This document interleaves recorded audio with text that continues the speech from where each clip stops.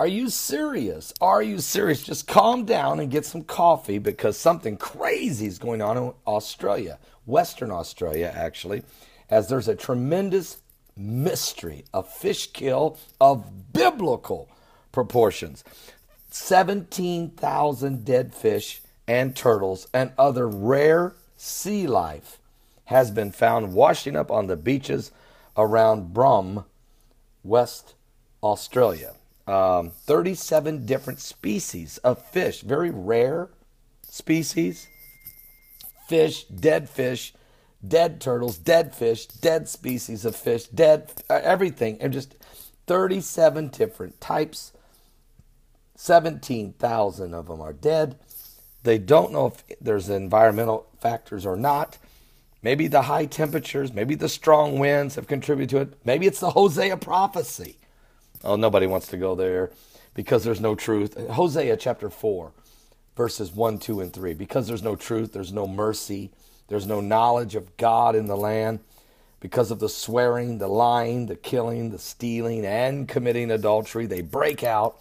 Blood touches blood. Therefore, the land is going to mourn, it's going to languish with the beasts of the field, with the fowls of heaven, yea, and the fishes of the sea also shall be taken away.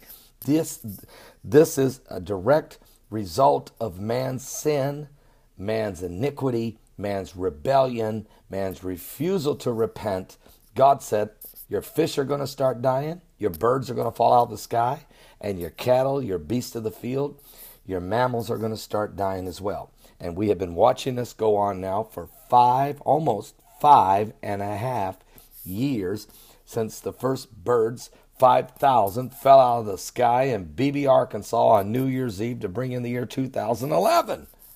Are you serious? So, look, if we don't want to believe the Bible, then we can just sit around, scratch our head, whine and cry, and wonder why it's happening to us all over the world. Like last year, 897 different mass animal deaths in 97 countries of the world without any scientific answer.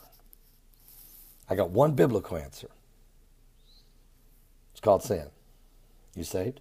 Christ is coming. It's another apocalyptic sign that he's coming soon. Now I'm going to have some coffee. You calm down.